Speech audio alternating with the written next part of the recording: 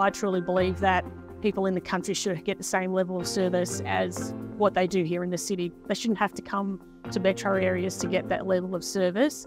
And I think that our relationship with Heart of Australia really talks to that. They bring specialist services to regional communities, and that's what we at QML want to do as well. If out in the bush, uh, access to care is such, such an issue. So, with that shared vision of trying to bridge that equity, uh, years ago I spoke to a rep from QML, and one conversation led to another.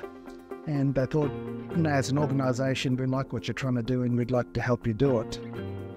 We have collectors in our regional areas, and together with Heart Australia, they take samples for us on the truck and they will either deliver them to us or our collectors will take them and bring them back here to Murarrie or to our regional labs. I think a lot of uh, people go for a very long time without seeing a doctor, and little things that can be nipped in the bud and, and caught early hasn't been happening for something as simple as having a blood test or having a skin check. It's pretty simple and it takes 10 minutes out of your time.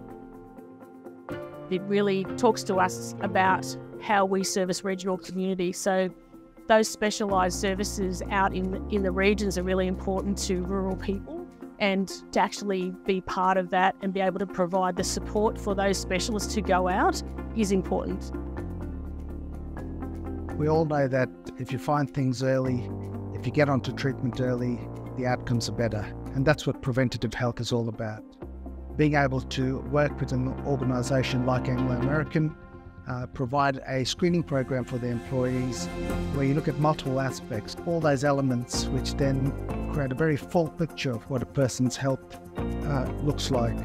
Being able to collect the samples, do the tests, and provide the results on the same day, if not the day after.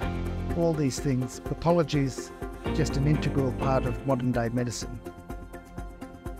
Anglo, it's really important that we are looking after the health and safety of our staff and that we're able as, a, as an organisation to try and find the best ways to prevent future health problems for our staff. being a sentimental person, having QML come on board in the early days where things were pretty tough and we needed the support of our partners to keep the wheels turning, it's been fantastic to have them on the journey with us.